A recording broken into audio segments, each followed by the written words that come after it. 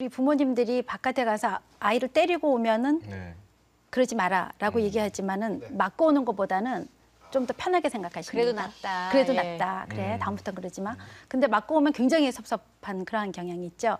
이 도덕성에는 자기 조절 능력이 중요합니다. 음. 그래서 내가 하지 말아야 할 것을 안 하고. 안 하고 네. 그 다음에 하고 싶은 것을 하지 말고 네. 또안 하기 싫지만 것, 예. 해야 되고 음. 이렇게 자신을 조절하는 자제력 같은 음. 거가 바로 도덕성이라고 할수 네. 있죠.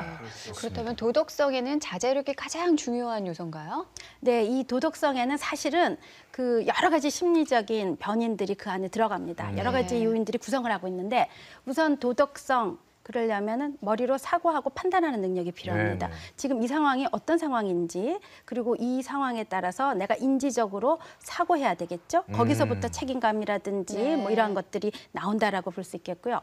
또 하나의 도덕성의 한 부분은 감정, 정서적인 부분입니다. 네. 내가 어떤 행동을 하고 나서 그로 인해서 죄책감을 가질 수 있어야지 되고요. 그러한 죄책감은 양심에서부터 일어난다고 볼수 네. 있겠고, 그리고 다른 사람의 처지를 같이 공감할 수 있어야 되겠죠. 음. 그러니까 저 사람이 처지가 이렇기 때문에 이런 행동을 하는구나라는 감정적인 공감을 할 수 있어야지 되고 또 하나는 생각만 하고 감정만 가지고 있는 거가 아니고 행동을 해야 되죠. 행동으로 네. 옮기는 그렇군요. 이렇게 인지적인 사고하는 거, 그 다음에 감정적인 거, 행동적인 거. 우리 인간에게 가장 중요한 음. 세 가지 요소가 다 되어 있는 거가 도덕성이라고 할 수 있습니다. 자, 네. 예, 우리 아이들 세대에는 특히 요즘에는 이제 인터넷이 발달하면서 거짓이 너무 금방 들통나는 그런 네. 시대가 돼서 우리 아이들 시대에는 도덕성이 더욱더 중요할 것 같은데 어떻습니까? 네, 우리 아마 부, 부모님 세대만 해도 그냥 대강 가는 거가 있었고 그렇게 대략적으로 하는 거가 더 멋있어 보였던 시대도 있었어요. 네. 너무 바람직하게 하면은 교과서 같다. 어. 저 사람 교과서 같아. 그럼 어쩐지 답답해 보이잖아요. 융통성.